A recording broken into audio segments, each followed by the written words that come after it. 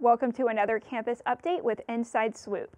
I'm Kaylee Snider, here to bring you up to date with what's going on this week. With National Art Day coming up on April 15th, this week's show is dedicated to all the ways you can appreciate art here on campus and around Jacksonville. There are good resources online if you want to improve your ability as an artist. The YouTube channel Proko is good if you want to learn about the fundamentals of drawing the human body.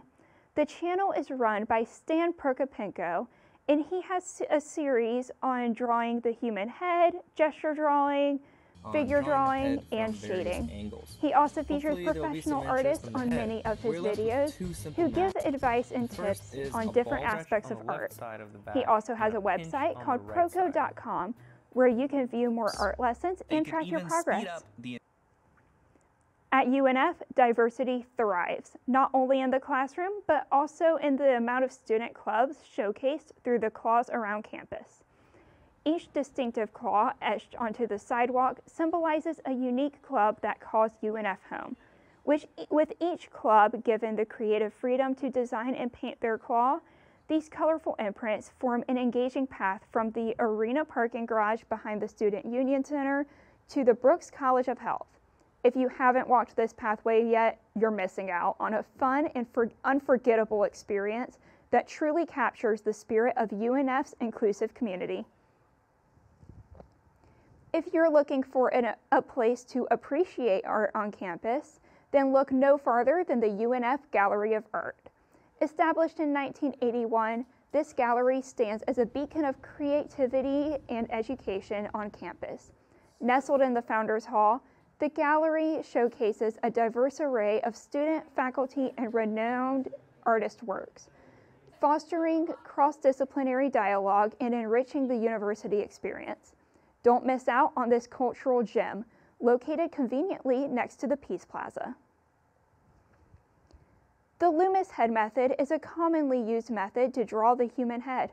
Reporter Jennifer Gold will be teaching you how to draw a Loomis head. Hey guys, in this video I'll be teaching y'all how to draw the Loomis head method, which is a way to draw the human head. First, you start with a circle, which represents the cranium.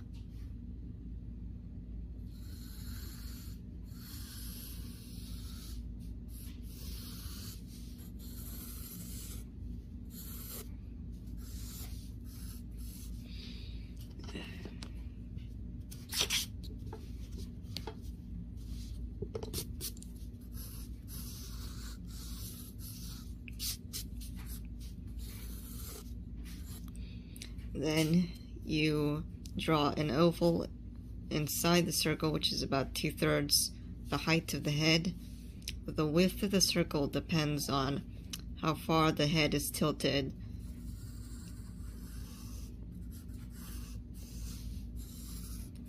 This is supposed to represent the side of the head. Next, you draw the axis line uh, that indicates whether the head is tilted up, down, or is completely straight. This one I'll do it tilted straightly, up, slightly up.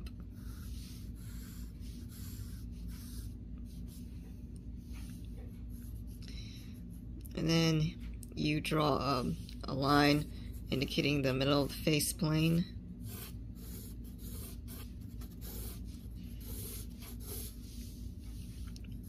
line for the middle of this oval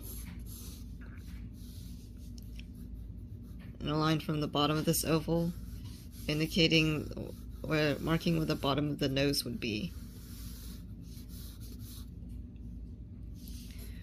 Then you draw the line for the chin about the same height as the line, uh, the height between these two lines draw the line indicating that end of the face, the jaw, the chin.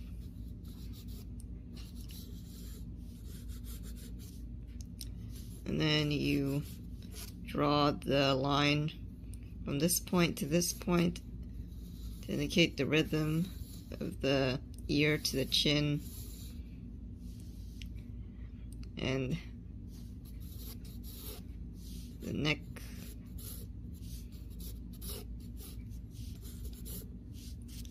And that's basically the Loomis head method. It's not completely proportionate, but that's what all the steps are. Jennifer Gould, Inside Swoop.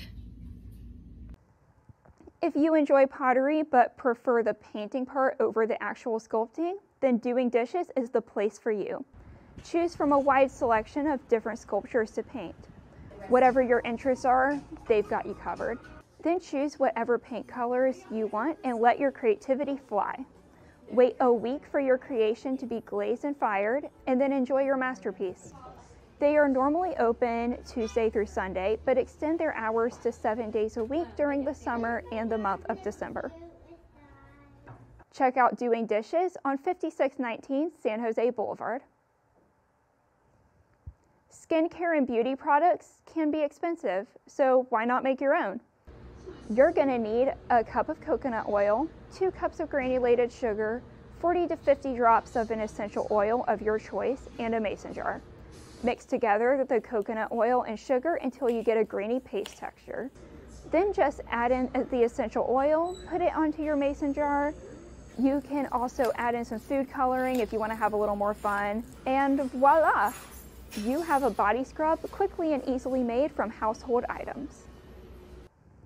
Well, that's another edition of Inside Swoop. Tune in next time for some more campus information. I'm Kaylee Snider. Thank you for joining me on Inside Swoop.